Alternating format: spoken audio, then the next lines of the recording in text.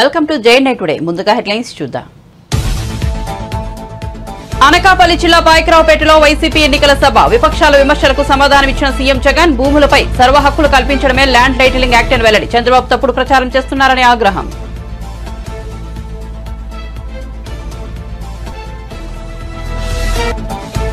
కోనసీమ జిల్లా మండపేటలో వారాహి విజయవేరి సభ. మన ఆస్తి పత్రాలపై జగన్ హక్కు ఏంటన్న పవన్ కళ్యాణ్. ఈ విషయంపై ప్రజలు నిలదీయాలని పిలుపు జగన్కు వైసీపీకి ప్రజలు. పొలిటికల్ హాలిడే ప్రకటించాలని వ్యాఖ్యలు.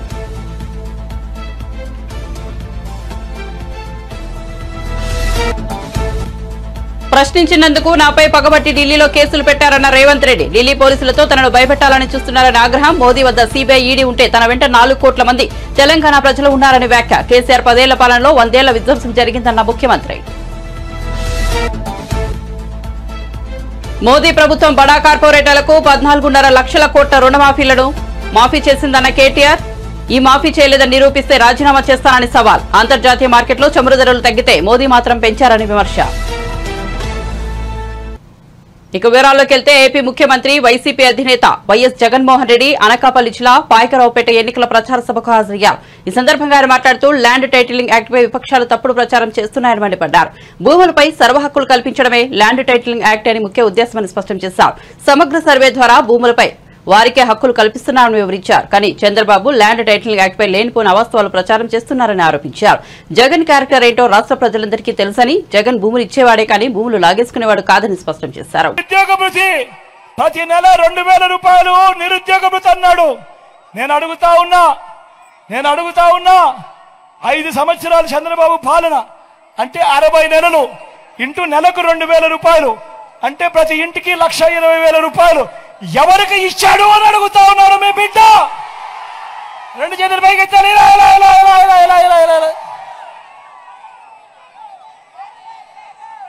ముఖ్యమైన హామీలు. ఇంకా ముందుకు పోబడ్డారా అర్హులందరికీ మూడు సెంట్ల స్థలం కట్టుకునేందుకు పక్కా ఇల్లు. నేను అడుగుతా ఉన్నా ఇన్ని వేల మంది ఇక్కడ ఉన్నారు. మీలో ఏ ఒక్కరికైనా కూడా చంద్రబాబు నాయుడు గారు ఒక్క షెడ్ స్థలమైనా ఇచ్చాడో అని అడుగుతా ఉన్నాడు మీ బిడ్డ. రెండు చేతులు పైకి ఎత్తాలి,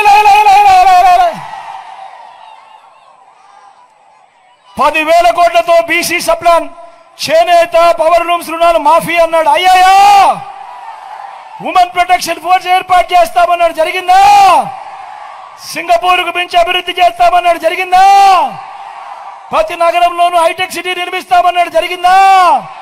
మన పైకి రాబేట్లో కనిపిస్తా ఉందా? నేను మిమ్మల్ని అడుగుతా ఉన్నా. ఇందులో చంద్రబాబు చెప్పినవి. రెండు వేల పద్నాలుగులో ఈయన స్వయంగా సంతకం పెట్టి ముఖ్యమైన హామీలంటూ మీ ప్రతి ఇంటికి పంపించిన ఈ పాంఫ్లెట్లో చెప్పినవి. ఇందులో చెప్పినవి ఒక్కటంటే ఒక్కటైనా జరిగిందా అని అడుగుతా ఉన్నాడు మీ బిడ్డ. ఈసారి మాత్రం గట్టిగా రెండు చేతులు పైకి లేయాలి ఈసారి గట్టిగా ఇలా ఇలా ఇలా ఇలా ఇలా ఇలా ఇలా ఇలా ఇలా ఇలా ఇలా ఇలా ఇలా ఇలా ఇలా ఇలా నేను అడుగుతా ఉన్నా నేనేమన్నా అడుగుతా ఉన్నా మరి ఇలాంటి వాళ్ళను మరి ఇలాంటి వాళ్ళను నమ్మవచ్చా అని అడుగుతా ఉన్నాడు మీ బిడ్డ రెండు చేతుల పైకి ఇలా ఇలా ఇలా ఇలా ఇలా ఇలా ఇలా ఈరోజు మళ్ళా ఏమంటా ఉన్నారు మళ్ళీ ఇదే ముగ్గురు. మళ్ళీ ఇదే ముగ్గురు. మళ్ళీ ఇదే ముగ్గురు ఏమంటా ఉన్నారు? సూపర్ సిక్స్ అంటా ఉన్నారు. నమ్ముతారా? నమ్ముతారా సూపర్ సెవెన్ అంటా ఉన్నారు. నమ్ముతారా? ఇంటింటికి కేజీ బంగారం ఇస్తారట. నమ్ముతారా? ఇంటింటికి బెంచ్ కారు కొనిస్తారట. నమ్ముతారా?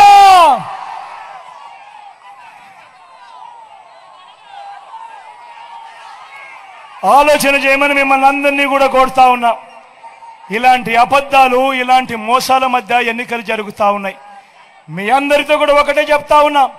వాలంటీర్లు మళ్ళీ ఇంటికే రావాలన్నా పేదవాడి భవిష్యత్ మారాలన్నా లంచాలు వివక్ష లేని పాలన జరగాలన్నా పథకాలన్నీ కొనసాగాలన్నా మన బడులు మన పిల్లలు బాగుపడాలన్నా మన వ్యవసాయము మన హాస్పిటల్లు మెరుగుపడాలన్నా ఏం చేయాలి?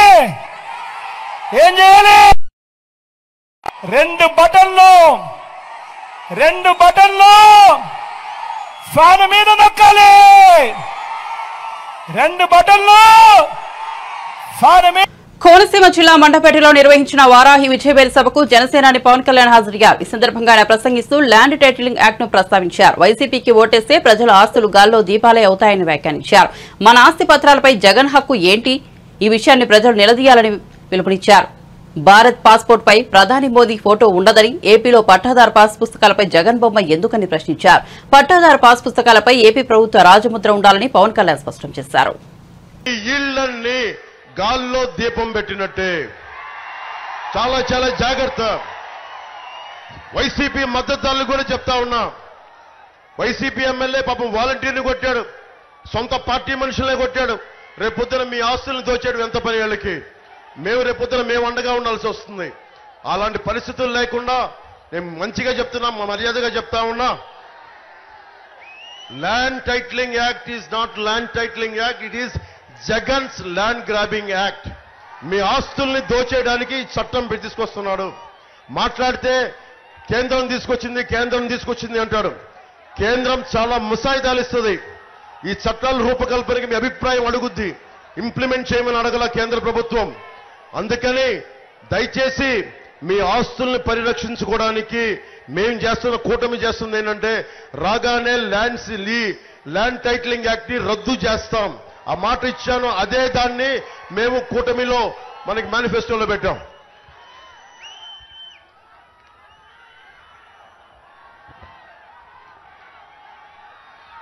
ముఖ్యంగా ఆరోగ్య బీమా నేను కొన్ని కీలకమని చెప్పి వదిలేస్తున్నాను.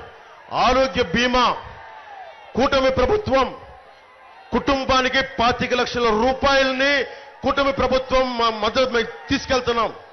మీకు ఏ జబ్బు వచ్చినా ఏ కష్టం వచ్చినా హాస్పిటల్కి వెళ్ళే ఖర్చులకి రెండు లక్షలు మూడు లక్షలు కాకుండా కుటుంబానికి పాతిక లక్షల రూపాయల వరకు ప్రీమియం ప్రభుత్వం ఇన్సూరెన్స్ కంపెనీల ద్వారా చెల్లించే బాధ్యత కూటమి ప్రభుత్వం తీసుకుంటుంది.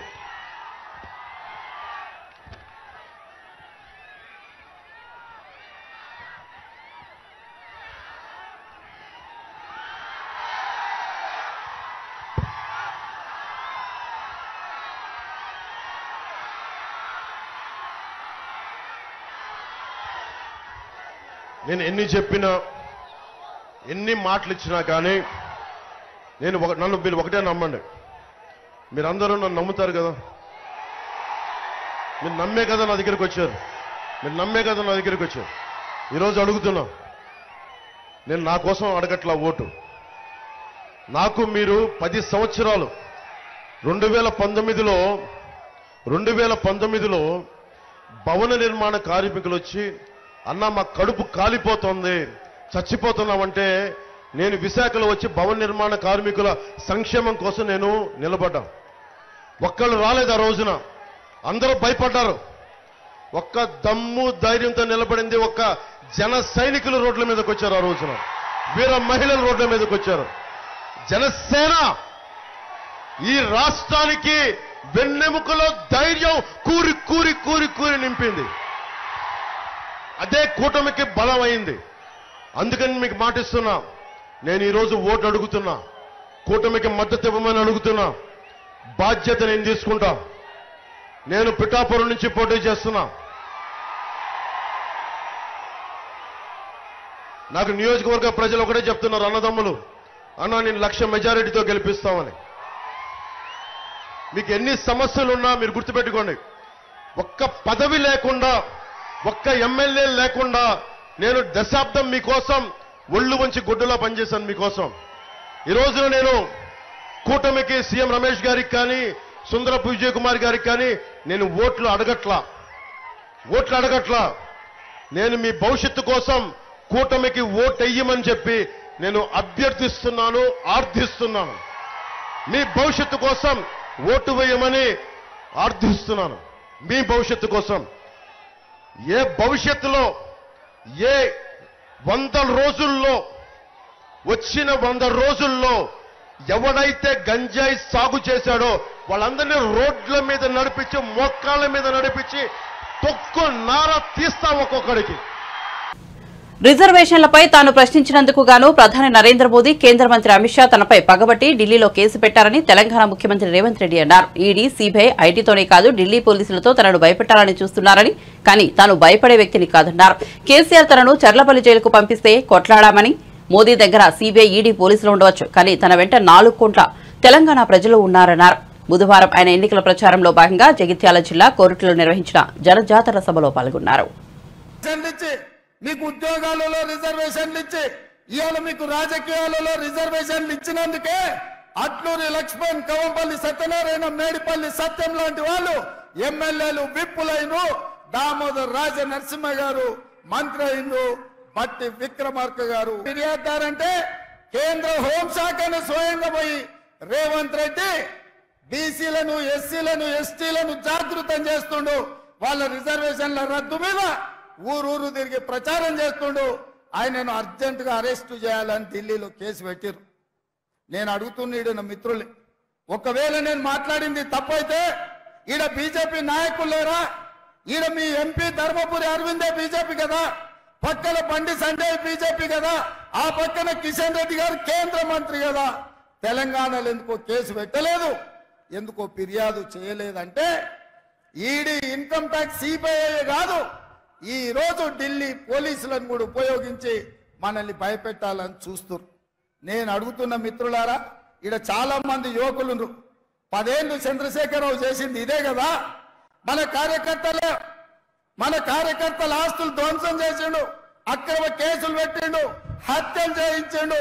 అయినా కార్యకర్తలు ఎవరు? చంద్రశేఖరరావుకు లొంగలేదు. తిరగబడి చంద్రశేఖరరావును బొంద పెట్టిరు మొన్న జరిగిన డిసెంబర్ ఎన్నికల్లో.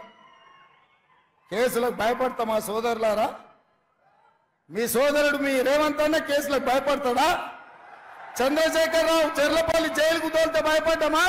చెంతలు కూడా జైల్లో బంధిస్తే భయపడ్డామా? తిరగబడి కొట్లాడినాం కేసులు పెట్టినోని ఇవాళ పండబెట్టినాం గోతి తీసి పాతి పెట్టినాం. నేను అదే మాట చెప్పదలుచుకున్న బీజేపీ నాయకులకు మీరు ఢిల్లీలో పోలీసులు ఉండొచ్చు ఈడీ ఉండొచ్చు ఇన్కమ్ ట్యాక్స్ ఉండొచ్చు సిబిఐ ఉండొచ్చు మీ దగ్గర. నా దగ్గర నాలుగు కోట్ల తెలంగాణ ప్రజలును యాభై లక్షల తెలంగాణ యువకులు ఉన్నారు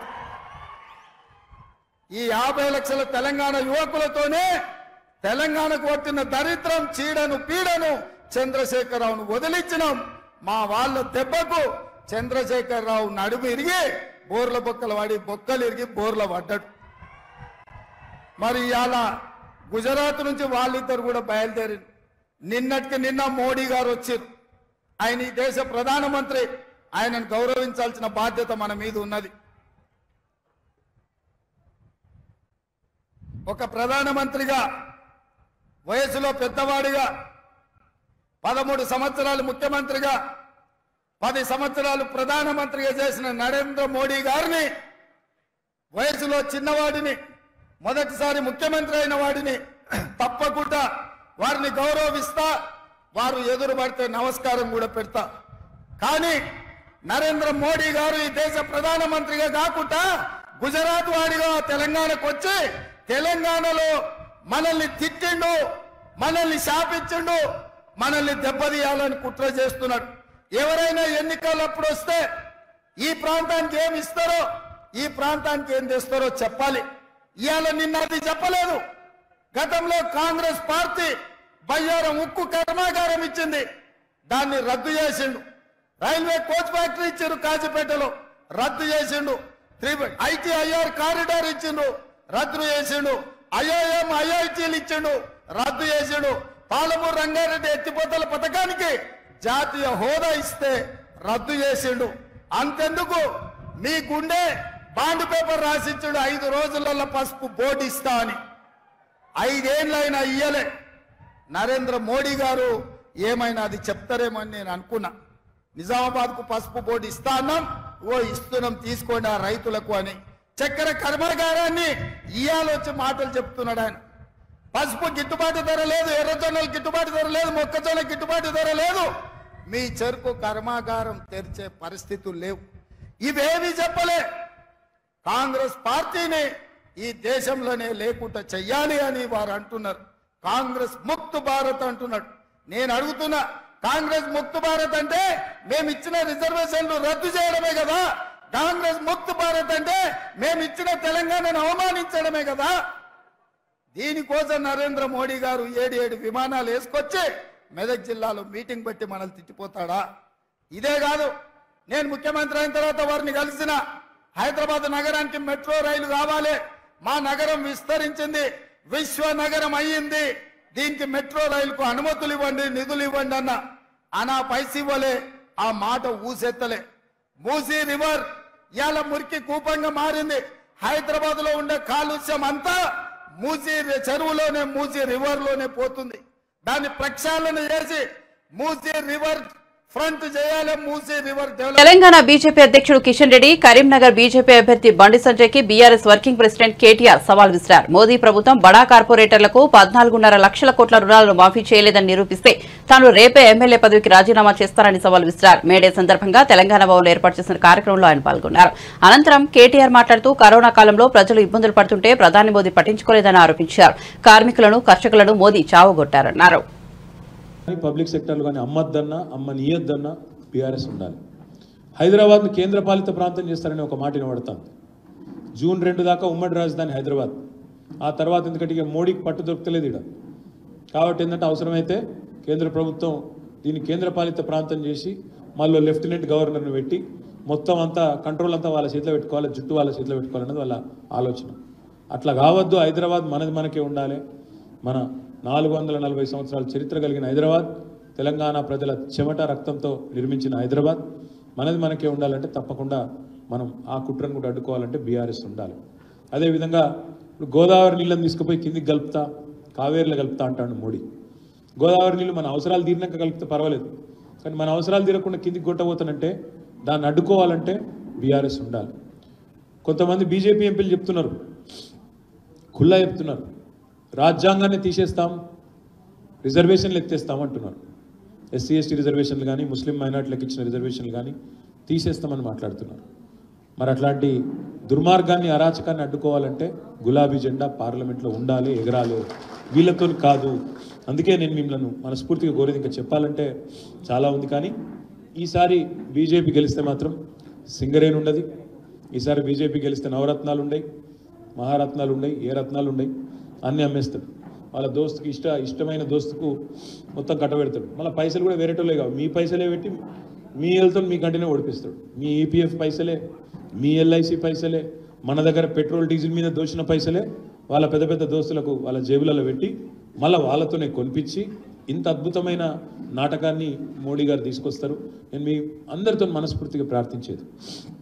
కార్మికులు బాగున్న నాడే పరిశ్రమలు బాగున్న నాడే మనం సంపద సృష్టించినాడే కులాలు మతాలకు అతీతంగా మనం కలిసికట్టుగా ముందుకు కదిలినాడే జాతి నిర్మాణం జరుగుతుంది తప్ప లేకపోతే ఎంతసేపు కులాలు మతాల పేరిట జాతుల పేరిట విడిపోయి కొట్లాడుకుంటే ఎన్నటికి కూడా మనం ఆశించిన మన పిల్లలకు కూడా మనం ఆశించిన భారతదేశాన్ని మనం అందించలేము దయచేసి మీతో ప్రార్థన. కులము మతము జాతి అది అందరికి ఉంటుంది ఎవరు ఏ కులంలో పుట్టాలి ఏ మతంలో పుట్టాలి మన చేతిలో లేని పని. కానీ ఇవాళ వాటిని అడ్డం పెట్టుకుని రాజకీయం చేసే సన్నాసులను మాత్రం ఒకంట కనిపెట్టాలి. తప్పకుండా వాళ్ళకి బుద్ధి చెప్పాలి. చెప్పకపోతే ఎంతసేపు వీటిని అడ్డం పెట్టుకునే ఏ పని చేయకుండా వీటిని అడ్డం పెట్టుకునే తమ తమ కార్యక్రమాలు నిర్వహించుకుంటా ఉన్నారు. దీనికి అడ్డుకట్ట వేసి తప్పకుండా ఇటు రాష్ట్రంలో అరిచేతిలో వైకుంఠం చూపి గెలిచొచ్చిన కాంగ్రెస్కు కానీ అటు రెండు వేల పద్నాలుగులో మోసం చేసిన బడాబాయ్ ఇప్పుడు ఇక్కడున్న చోటాబాయ్. బడాబాయ్ చోటాబాయ్కి ఇద్దరికి కూడా మరి బుద్ధి చెప్పాల్సిన బాధ్యత మా కార్మిక సోదరులే తీసుకోవాలని కోరుతూ మీ స్ఫూర్తి మీ స్ఫూర్తి మా సోదరుడు చెప్తున్నాడు బీఆర్ఎస్ గవర్నమెంట్లో వాటర్ వర్క్స్ ఉద్యోగులకు కూడా హెల్త్ కార్డులు ఇప్పించినామని. చాలా చేసినామన్నా ఇట్లా. చాలా చేసినాం కానీ చెప్పుకోలేము మనం అదో బాధ. కాదు కాదు అది కూడా అసలు మనుషులు చెప్తాను చాలా పని చేసినాం ఇప్పుడు నేను చెప్పిన మస్తు చదివినా. మీకే తెలియపోయాయి అది? మా కార్మిక విభాగానికి తెలియపోయాయి మీరు ఎప్పుడు చెప్పాలి కిందికి? వాస్తవం. చెప్పుకోలే మనం. చేసినాం చాలా చెప్పుకోలే. సోషల్ మీడియాలో మల్లన్న పుల్లన్న తిడుతుంటే వాడు తీయడు బుల్లెట్ మాటలు మాట్లాడుతుంటే ఈయన నెత్తి ఖరాబ్ చేసుకున్నాం. వాస్తవం అది. కాబట్టి చేసిన పని కూడా చెప్పుకోలేము మనం చక్కగా. ఇప్పుడు చేయాల్సింది ఏంటంటే పోరాటాలు చేయడంతో పాటు చేసిన పని చెప్పుకోవడంతో పాటు రేపేం చేస్తామో కూడా చెప్పాలి. తప్పకుండా ప్రజల పక్షాన్ని నిలబడుతూ కార్మిక ఉద్యమాలకు కూడా నేను కూడా అండగా వ్యక్తిగతంగా ఉంటానని చెప్పి కూడా మళ్ళొకసారి తెలియజేస్తూ నాకు కొద్దిగా ఆరోగ్యం బాగాలేదు కాబట్టి నాకు పోయేందుకు అనుమతి ఇవ్వాలని కూడా కోరుతూ జై తెలంగాణ.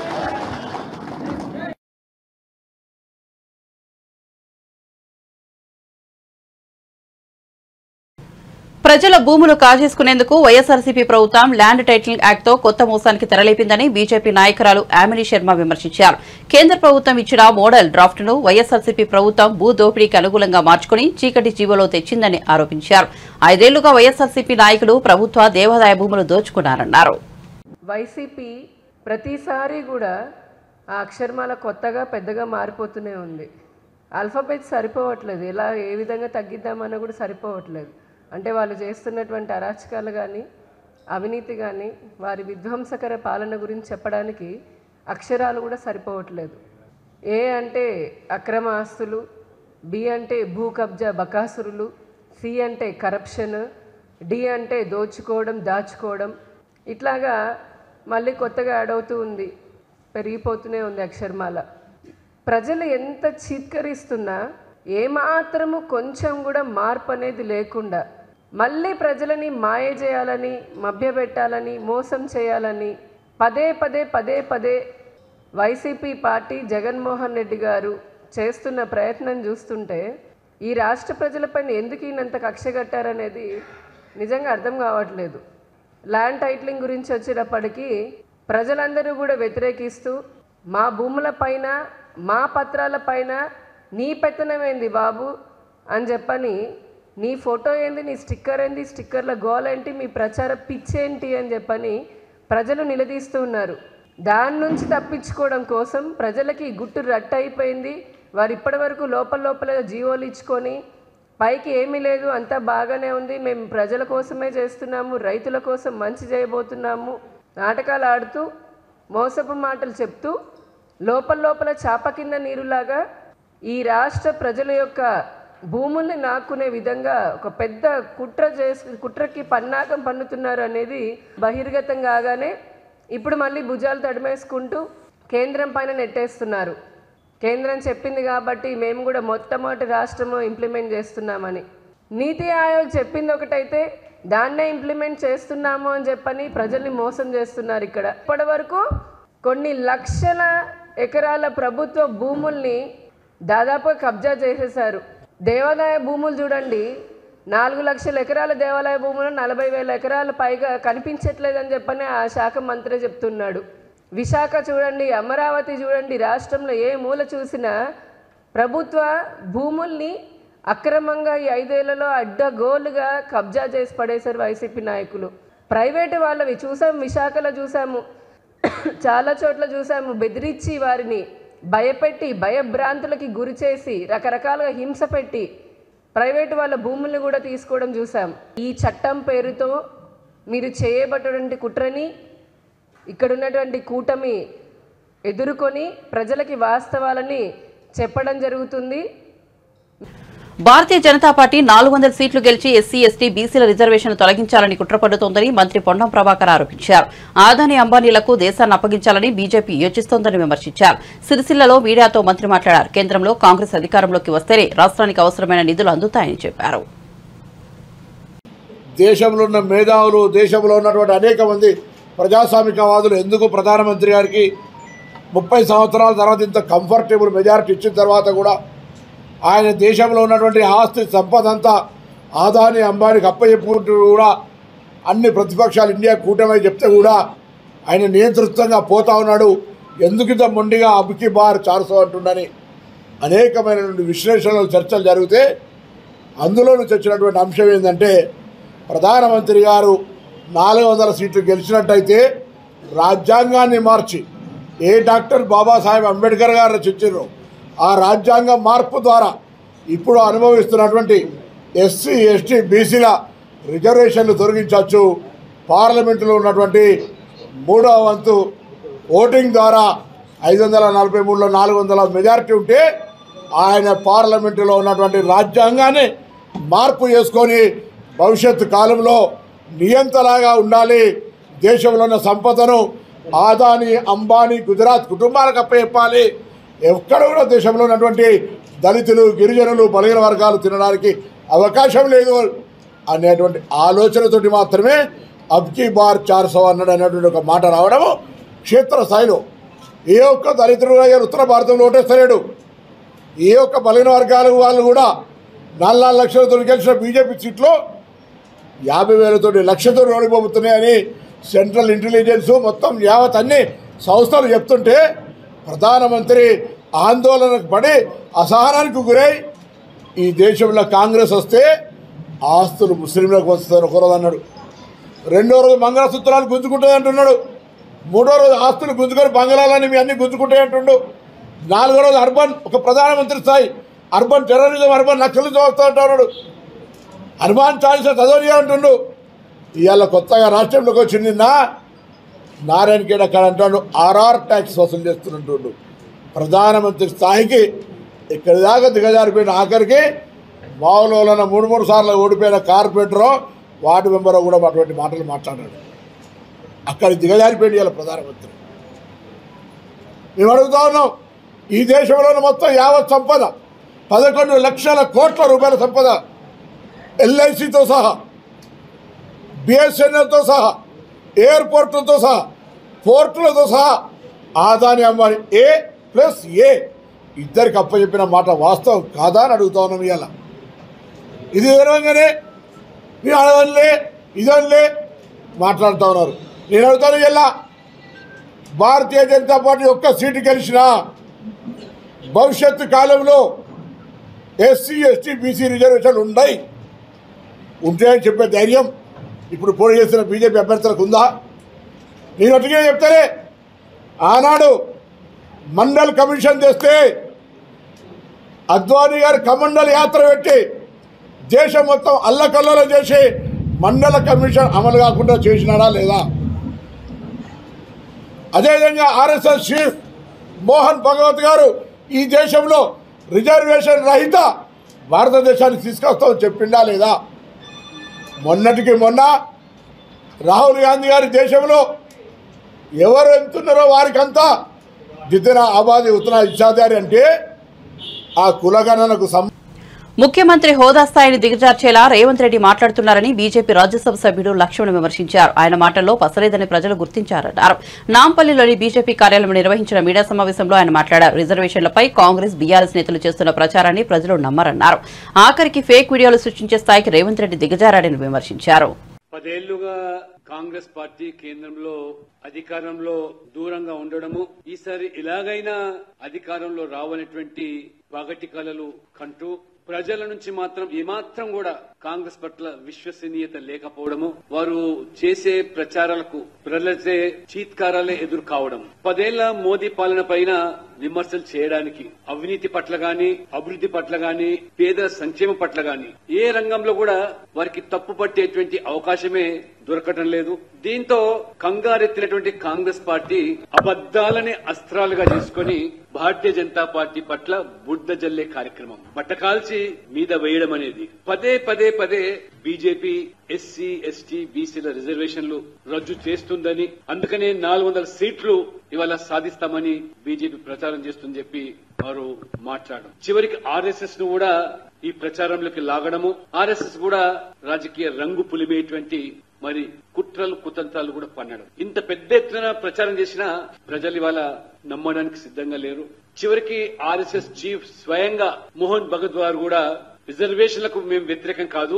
ఈ సమాజంలో వివక్షత కొనసాగేటువంటి పరిస్థితి ఉన్నంత కాలం కూడా రిజర్వేషన్లు కొనసాగాలని చెప్పి కరాఖండిగా గంటా పదంగా ముక్కు సూటిగా మరి వాళ్ళ ఆర్ఎస్ఎస్ చీఫ్ చెప్పడంతో నేను రేవంత్ రెడ్డి గారిని అడుగుతున్నాను. ముఖ్యమంత్రి రేవంత్ రెడ్డి గారు మీరు తల ఎక్కడ పెట్టుకుంటారో ఒకసారి ఆలోచన చేయండి. ముఖ్యమంత్రి అయ్యుండి కూడా రేవంత్ రెడ్డి గారు ఏ రకంగా ఆ ముఖ్యమంత్రి స్థాయిని దిగజార్చే విధంగా కనీసం నైతిక విలువలు కూడా పాటించకుండా ఏ రకంగా ఇవాళ అబద్దాలనే ప్రచార అస్త్రాలుగా చేసుకొని చివరికి చెబితే నమ్మటం లేదు ప్రజలు. ఎంత ఊక దంపుడు ఉపన్యాసాలు మాటల తూటాలు పిలిచినా ఇవాళ అందులో పస లేదు అని గ్రహించిన ప్రజలు చూసి ఈరోజు ఫేక్ వీడియోలు సృష్టించే స్థాయికి ఇవాళ మరి దిగజారనంటే రేవంత్ రెడ్డి గారు మరి క్షమాపణ చెప్పాలి. పదే పదే పదే రాజ్యాంగాన్ని మారుస్తామని చెప్పి విష ప్రచారం అయితే చేస్తున్నారో ప్రధానమంత్రి నరేంద్ర మోడీ మొదలుకొని అమిత్ షా గారు జేపీ నడ్డా గారు పార్టీ యంత్రాంగం అంతా కూడా ఇవాళ చాలా స్పష్టంగా కుండ బద్దలు కొట్టి ఇవాళ రాజ్యాంగం పట్ల మాకున్నటువంటి గౌరవాన్ని వ్యక్తపరుస్తుంది బులెటిన్ ముగించి ముందు హెడ్లైన్స్ మరోసారి చూద్దాం. అనకాపల్లి జిల్లా పాయకరావుపేటలో వైసీపీ ఎన్నికల సభ. విపక్షాల విమర్శలకు సమాధానమిచ్చిన సీఎం జగన్ భూములపై సర్వ హక్కులు కల్పించడమే ల్యాండ్ టైటిలింగ్ యాక్ట్ అని వెల్లడి. చంద్రబాబు తప్పుడు ప్రచారం చేస్తున్నారని ఆగ్రహం.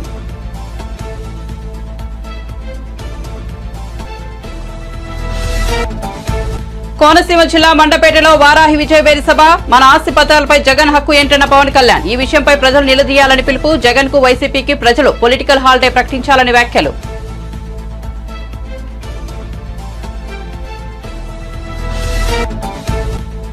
ప్రశ్నించినందుకు నాపై పగబట్టి ఢిల్లీలో కేసులు పెట్టారన్న రేవంత్ రెడ్డి. ఢిల్లీ పోలీసులతో తనను భయపెట్టాలని చూస్తున్నారని ఆగ్రహం మోదీ వద్ద సీబీఐ ఈడీ ఉంటే తన వెంట నాలుగు కోట్ల మంది తెలంగాణ ప్రజలు ఉన్నారని వ్యాఖ్య. కేసీఆర్ పదేళ్ళ పాలనలో వందేళ్ళ విధ్వంసం జరిగిందన్న ముఖ్యమంత్రి.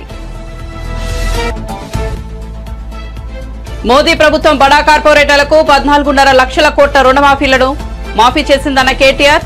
ఈ మాఫీ చేయలేదని నిరూపిస్తే రాజీనామా చేస్తానని సవాల్. అంతర్జాతీయ మార్కెట్లో చమురు ధరలు తగ్గితే మోదీ మాత్రం పెంచారని విమర్శ.